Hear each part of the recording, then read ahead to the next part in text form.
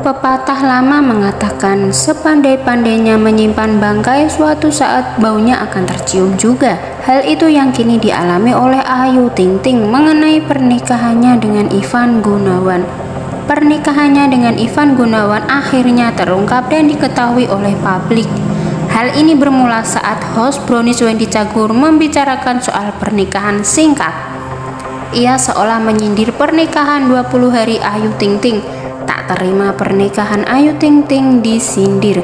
Ivan Gunawan pun menegur Wendy Cagur. Gak boleh nikah dua hari cerai. Tersinggung dong, kata Ivan Gunawan. Menunjuk Ayu Ting Ting. Sampai saat ini belum ada yang ngalahin Ayu Ting Ting. Timbul Ruben Onsu. Ayu Ting Ting pun sependapat, bahkan ia menantang Ivan Gunawan untuk menyainginya mau ngalahin saya.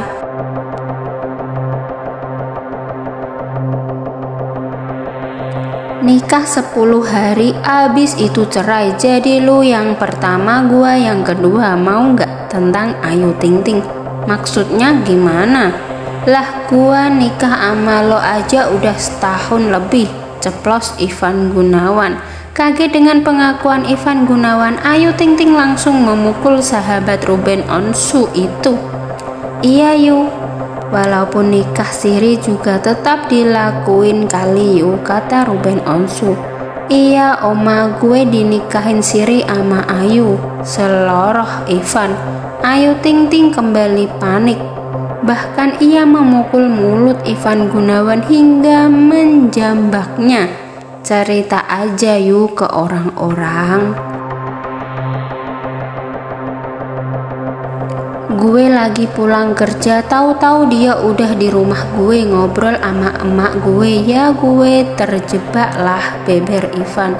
Ayu Ting Ting pun memberikan ancaman ke Ivan yang telah berani menuduhnya nikah siri. Benar ya, gak mumpung lagi ditonton yang benar ya, ancam Ayu Ting Ting. Berarti pulang lu entar ama gue lu. Bener ya? Lu ngomong gue nikah siri. Nih gue tantangin depan banyak orang.